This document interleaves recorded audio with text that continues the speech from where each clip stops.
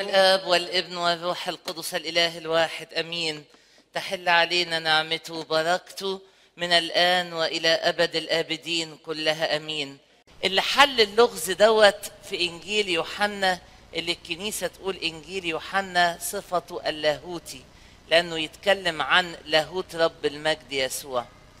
فيوضح ويقول في كل مرة شيء عشان كده الكنيسة تحب قوي فصول الخماسين تكون من إنجيل معلمنا يوحنا. أنا هو خبز الحياة. أنا هو النور. الحد اللي جاي أنا هو الطريق. أكننا اليومين دول إحنا ما بين أنا النور وأنا الطريق. عشان كده فصل إنجيل النهارده رب المجد يسوع يكلمنا عن نفسه بصفة إن هو نور لهذا العالم. هو اللي جه ينور.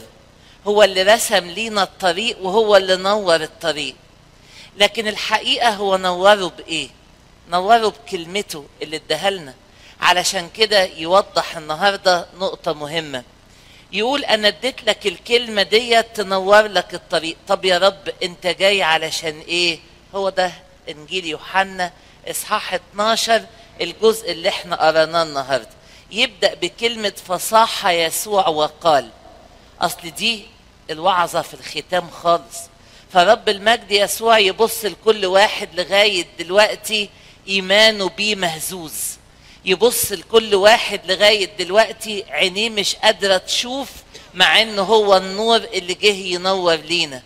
يصيح ويصرخ ليه؟ لأنه عايز الجميع يخلصون. بإيه يا رب؟ بإنك جاي تدين العالم؟ لا أنا مش جاي ديان. أمال جاي إيه؟ جاي لأخلص العالم. أنا صفتي جاي لخلاص كل واحد في الدنيا دي.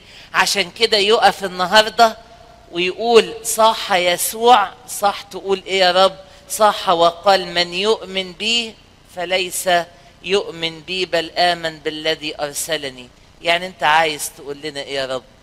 عايز يحطنا قدام حقيقة الأيام اللي فاضلة في الخماسين مهمة. أنت شايف ربنا إيه؟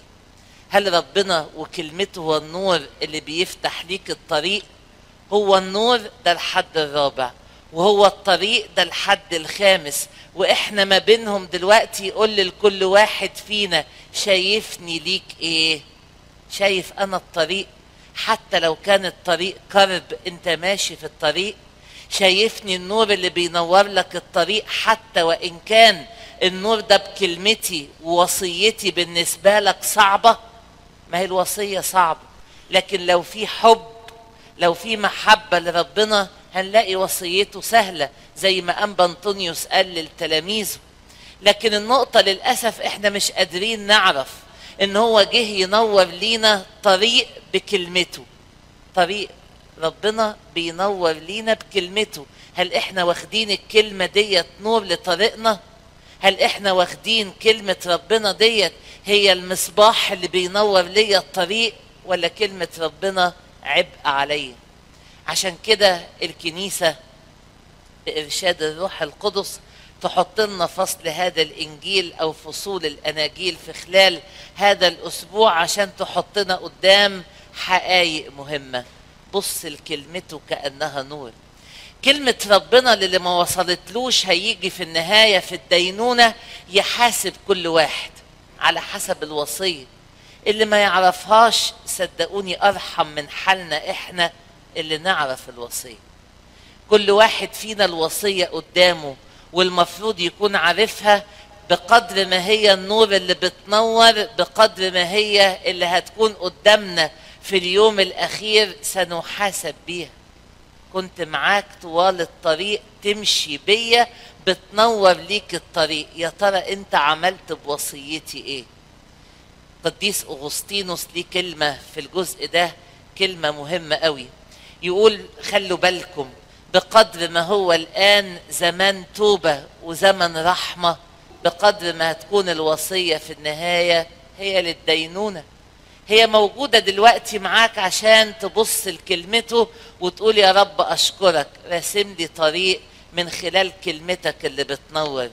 لكن الخوف لمن لا يؤمن والخوف اللي ما, بيشتغل ما بتشتغلش في كلمة ربنا. هو ده اللي يسوع يبص ويبدأ ليه إنجيل النهاردة فصاح يسوع وقال.